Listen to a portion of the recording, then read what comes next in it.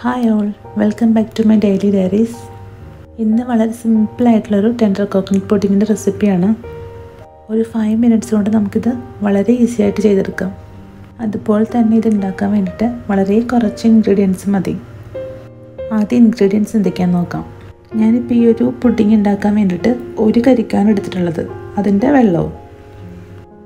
പുഡിങ്ങും കേക്കും ഒക്കെ ചെയ്യാൻ വേണ്ടിയിട്ട് കരിക്കെടുക്കുമ്പോൾ എപ്പോഴും നമ്മൾ ഓവർ സോഫ്റ്റ് ആയിട്ടുള്ള കരിക്ക് കൊടുക്കരുത് ഹാർഡായിട്ടുള്ള കരിക്ക് കൊടുക്കരുത് ഒരു സെമി പരുവത്തിലുള്ള കരിക്കാണ് എടുക്കാൻ.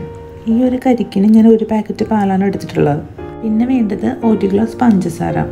മധുരത്തിന് ആവശ്യമായിട്ടുള്ള മിൽക്ക് മെയ്ഡ് പത്ത് ഗ്രാം വരുന്ന ഒരു ചൈന ഗ്രാസിന്റെ പാക്കറ്റ് പിന്നെ വാനില എസൻസ് ഡെക്കറേഷൻ ചെയ്യാൻ വേണ്ടിയിട്ട് ഞാൻ കുറച്ച് ചെറീസും നട്ട്സും പിന്നെ ടെൻഡർ കോക്കനട്ടിന്റെ പീസസുമാണ് എടുത്തിട്ടുള്ളത്. ആദ്യം നമ്മൾക്ക് ഈ ചൈന ഗ്രാസ് ഒന്ന് സോക്ക് ചെയ്ത് മെൽറ്റ് ചെയ്തെടുക്കാം. അതിനുവേണ്ടി ഞാനിപ്പോൾ ഒരു ഒരു ഗ്ലാസ്സോളം കൂൾ വാട്ടർ ഞാൻ ചൈന ഗ്ലാസ്സിലേക്ക് ഒഴിച്ചിട്ടുണ്ട്. ഇത് സോക്കായതിന് ശേഷം നമ്മൾക്ക് ഓവനിലേക്ക് വെച്ചിട്ട് ഒരു തേർട്ടി സെക്കൻഡ് തൊട്ട് ഒരു നയന്റി സെക്കൻഡ് വരെ നമ്മൾക്ക് ഒന്ന് ഹീറ്റ് ചെയ്യാം. പുഡിങ് ചെയ്യാൻ വേണ്ടിയിട്ട് നമുക്ക് ചൈന ഗ്രാസിന് പകരം ജലറ്റിൻ എടുക്കാം. ജലറ്റിനാണ് എടുക്കുന്നതെങ്കിലും ഇതേപോലെ തന്നെ നമ്മൾക്ക് സോക്ക് ചെയ്ത് മെൽറ്റ് ചെയ്തെടുക്കാം. ജലാറ്റിനാണ് നമ്മൾ യൂസ് ചെയ്യുന്നതെങ്കിൽ നമ്മുടെ പുഡിങ് നല്ല ജെല്ലി ആയിട്ടുള്ള ടെക്സ്ചറിൽ കിട്ടും.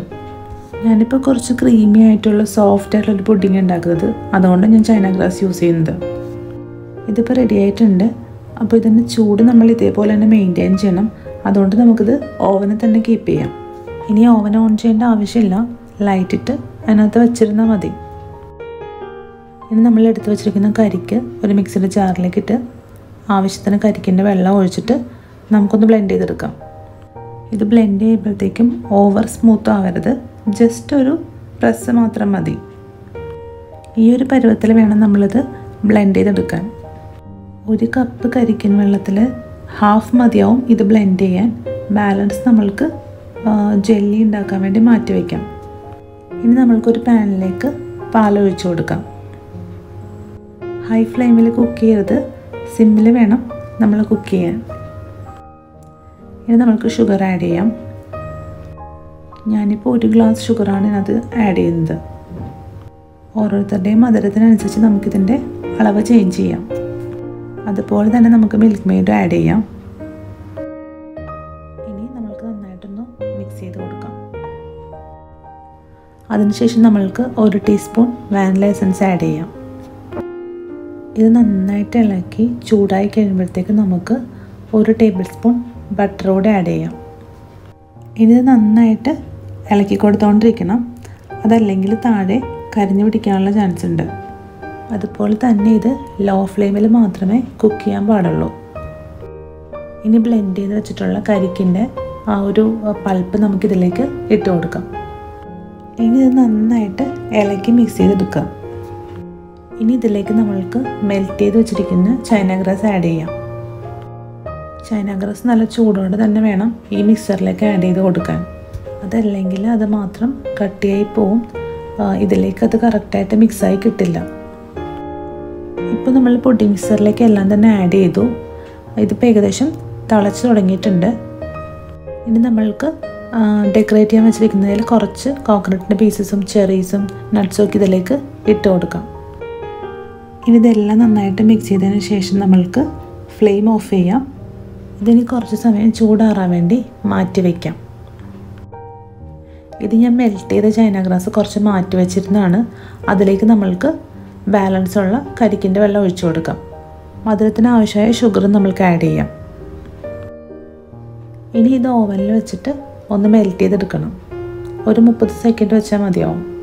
ഞാനിപ്പോൾ ഈ ഒരു മിക്സർ നമ്മളുടെ പുഡിങ്ങിന്റെ ടോപ്പ് ലെയറിൽ ഒഴിച്ചു കൊടുക്കുകയുള്ളൂ അതല്ല ഇത് പീസസ് ആയിട്ട് കട്ട് ചെയ്ത് ഡെക്കറേറ്റ് ചെയ്യാനാണെങ്കിൽ നമ്മൾ ജലറ്റിൻ തന്നെ യൂസ് ചെയ്യണം. ഇനി ഞാൻ നേരത്തെ ഉണ്ടാക്കിയിട്ടുള്ള ടെൻഡർ കോക്കനട്ടിന്റെ കേക്കാണ് ഇതിന്റെ മുകളിൽ കാണുന്നത് പോലെ ജെല്ലി നമ്മൾക്ക് കട്ട് ചെയ്തെടുക്കണമെങ്കിൽ ജലറ്റിൻ തന്നെ യൂസ് ചെയ്യണം. ചൈന ഗ്രാസ് യൂസ് ചെയ്താൽ നമ്മൾക്ക് ആ ഒരു ടെക്സ്ചർ കിട്ടില്ല. ഇപ്പോൾ പുഡിങ്ങിന്റെ മിക്സർ നന്നായിട്ട് ആറിയിട്ടുണ്ട്. ഇനി ഇത് നമ്മൾക്ക് സെറ്റ് ചെയ്യുന്ന പാത്രത്തിലേക്ക് ഒഴിച്ചു കൊടുക്കാം.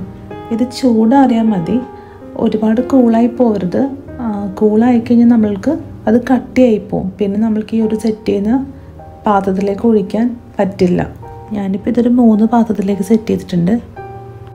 ഇനി ഇതിന്റെ ടോപ്പിലായിട്ട് നമ്മൾക്ക് ടെൻഡർ കോക്കനട്ട് വാട്ടറിന്റെ മിക്സർ ഒഴിച്ചു കൊടുക്കാം.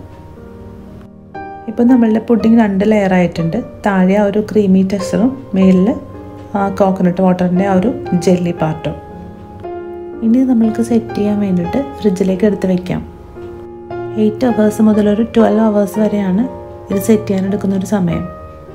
ഞാനിത് ഉണ്ടാക്കിയത് രാത്രിയാണ്. അപ്പോൾ ഒരു ഓവർനൈറ്റ് ഫുൾ ഞാൻ വെച്ചിട്ടുണ്ടായിരുന്നു. ഇപ്പോൾ രാവിലെ നമ്മളിത് എടുത്തു. ഇതിപ്പോൾ നന്നായിട്ട് സെറ്റായി കിട്ടിയിട്ടുണ്ട്. ഇതിപ്പോൾ ക്രീമി ടെക്സ്റ്റ് ആയതുകൊണ്ട് നമ്മൾക്ക് ഡയറക്റ്റായിട്ട് കഴിക്കാം.